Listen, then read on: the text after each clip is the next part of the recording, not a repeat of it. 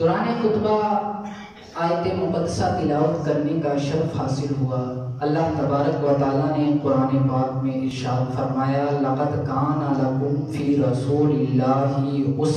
हसनह तहकीक तुम्हारे लिए नबी पाक सलाम की ज़िंदगी में बेहतरीन नमूना है। मुफसरीन कराम फरमाते हैं कि नबी पाक सलाम की हयात तय्यबा तमाम इंसानों के लिए बेहतरीन नमूना है।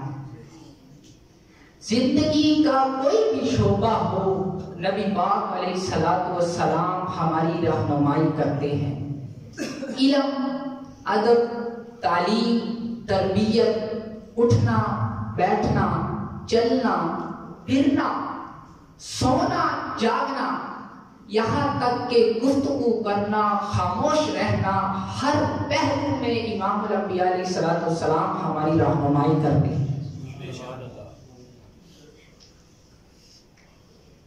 इसीलिए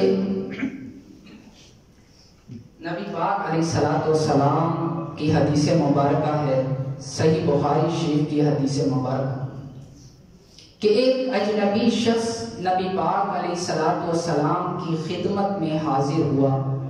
और आकर सवाल करता है, मल इस्लाम, मल ईमान, मल एहसान मदसा लेकिन इन तमाम सवाल करने से पहले वो बादब हजूर की बारगाह में बैठता है और अपने दोनों हाथों को, अपनी दोनों रानों के ऊपर रखता है। और फिर सवाल करता है, मल इस्लाम, मल ईमान, मल इहसान मतसा ईमान क्या है, इस्लाम क्या है एहसान क्या है और क्यामत कब आएगी? लेकिन इन तमाम सवाल करने से पहले जब वो बादब हजूर की बात में बैठता है और अपने दोनों हाथों को नबी पाक सलाम के सामने अपनी दोनों रानों के ऊपर रखता है और जब वो इन सवाल के जवाब लेकर जाता है। तो हजूर पूछते हैं, या उमर, हर तदरी हुआ। ए उमर, क्या जानते हो ये कौन थे? तो हज़रत उमर रज़ी अल्लाह तआला करते हैं अल्लाह रसूल आलम या रसूल अल्लाह अल्लाह और उसके रसूल बेहतर जानते हैं तो नबी पाक सलाम ने इरशाद फरमाया फइन्नहु अताकुम जिब्रील युअल्लिमुकुम दीनकुम फरमाया ये जिब्रील थे जो तुम्हें तुम्हारा दीन सिखाने आए थे सुभान अल्लाह इस यहाँ भी गौर करें तो सबसे पहले जो उन्होंने अमलन चीज़ सिखाई है, वो अदब है। इसका मतलब ये है कि अदब पहला करीना है, मोहब्बत के करीनों। अदब पहला। इसलिए नबी पाक सलाम की हदीस मुबारक है जाम तिरमजी में। क्या सलाम ने इशाद फरमाया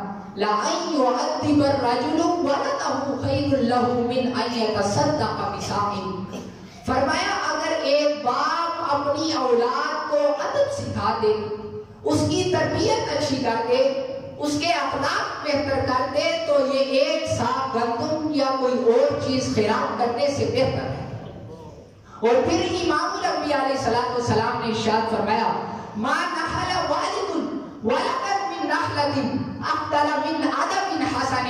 फरमाया जितने भी बाप अपनी औलाद को तोहफे देते हैं सबसे बेहतरीन तोहफा अदब का तोहफा है। चाहिए वालिदैन अपनी औलाद को ये तोहफा दिया करें। और यही सबब था कि जब इमाम सलाम ने अदब की अहमियत पर ज़ोर दिया तो सहाबा की लबों पर भी अदब की बातें थी। हज़रत उमर रज़ी अल्लाह आप कहा करते थे फरमाया, अगर तुम्हें नमक के बराबर इल्म मिल जाए तो आटे के बराबर अदब पैदा करो। और हज़रत अली रज़ी अल्लाह फरमाते हैं कि अल्लाह तबारक व तआला ने कुरान पाक में जो ये इरशाद फरमाया, या अय्युहल्लज़ीना आमनू, कु अनफुसकुम व अहलिकुम नारा।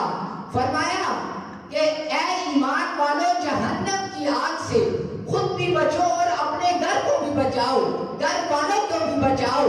तो हज़रत अली रज़ी अल्लाह फरमाते हैं, बचाना कैसे है कि इतनी हो नाक जहन्नुम कि जिसके बारे में इमामुल अंबिया सलाम ने इरशाद फरमाया युक्ता बि जहन्नम यौमा इज़िल्लाहा सबऊन अल्फ ज़मामिन मा कुल्ली ज़मामिन सबऊन अल्फ मलिकिन यजुलूनहा औ कमा क़ाल अलैहि सलातु सलाम फरमाया जहन्नम को क़यामत के दिन यूँ लाया जाएगा कि उसकी सत्तर हज़ार लगामें होगी और हर लगाम को सत्तर हज़ार फरिश्ता खींच रहा होगा यानी कि इतनी सब और होलनाक जहन्नम हज़रत अली रज़ी अल्लाह तआला फरमाते हैं कि इतनी सब और होलनाक जहन्नम से अपने घर वालों को कैसे बचाना है? अल्लाह तबारक तआला ने ये जो इरशाद फरमाया नारा इसका मतलब ये है कि कि उन्हें अदब भी सिखाओ और उन्हें इल्म भी सिखाओ। इसका मतलब ये है कि हज़रत अली रज़ी अल्लाह ने पहले अदब को रखा और बाद में इल्म को रखा। और हज़रत अली रज़ी अल्लाह तआला का क्या अंदाज है? आप फरमाते हैं इन नमन अल्लमनी हरफत सिरतु लहु अब्दन। फरमाते हैं, जिसने मुझे सिर्फ़ एक हरफ सिखाया, एक हरफ सिखाया, अली उसका गुलाम है, चाहे तो मुझे फरोख्त कर दे। और यही सिलसिला था, यही सिलसिला। पहले इमाम सलाम की सीरत और फिर सहाबा की सीरत के तजलियात और यही सिलसिला फिर हमारे असलाफ में आता है। हज़रत मुजद्दिद अल-फिसाली रहमतुल्लाह तआला आप फरमाते हैं, मैंने कभी सोते वक्त भी अपने उस्तादों के घर की तरफ़ पाँव नहीं किए।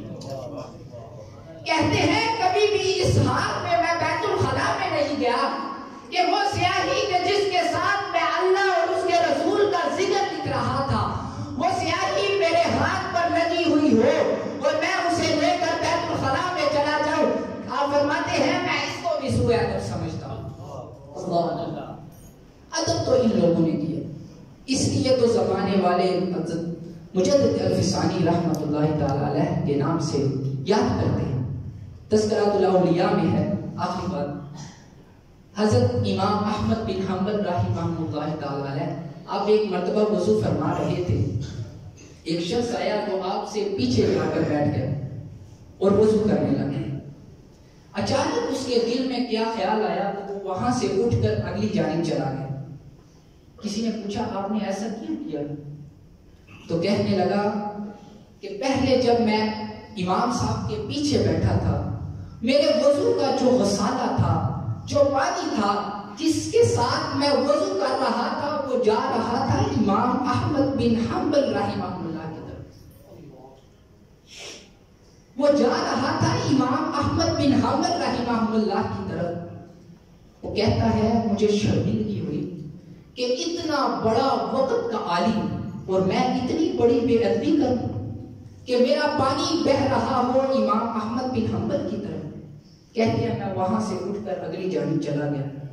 जब वो शख्स इस दुनिया से गया तो शेख फरीदुद्दीन अतार, आप फरमाते हैं, किसी को ख्वाब में मिला ख्वाब में मिला तो उन्होंने इससे पूछा कि बताओ तुम्हारा क्या बना? तो उस शख्स ने कहा कि अल्लाह तबारक व तआला ने मुझे सिर्फ़ इमाम अहमद बिन हम्बल रहमहुल्लाह के इस अदब की वजह से मुझे बख्श दिया कि तुमने एक अल्लाह के वली का अदब किया। इसलिए अदब के बगैर बंदा कुछ नहीं हासिल कर सकता। अगर बेटा है बाप का अदब ना करे तो उसे कुछ नहीं हासिल हो सकता।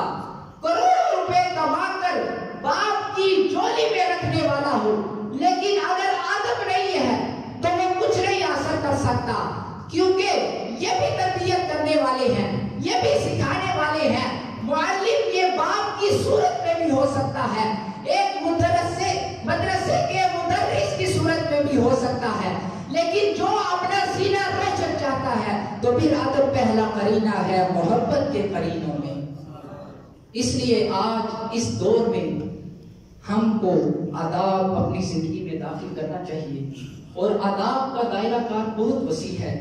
सबसे पहले अल्लाह रब्बुल इज़्ज़त की ज़ात का अदब है, उसके अहकाम का अदब है, फिर इमाम सलाम का अदब है, दीगर अम्बिया का अदब है, अहले बैत सहाब कराम का अदब है। अलिया सुलहा का अदब है। इस का अदब है। वालिदैन का अदब है। बड़ों का अदब है। यानी तीन सिका ही अदब रहा है। इसलिए अगर ज़िंदगी में अदब दाखिल हो जाए तो ये ज़िंदगी निखर जाती है। और अदब का रंग अगर ज़िंदगी से निकल जाए तो ये ज़िंदगी तारीखियों का मरकज बन जाती है। इसलिए अल्लाह रब्बुल इज़्ज़त की बारगाह में इल्तिजा है। खालिक कायनात। 很美吧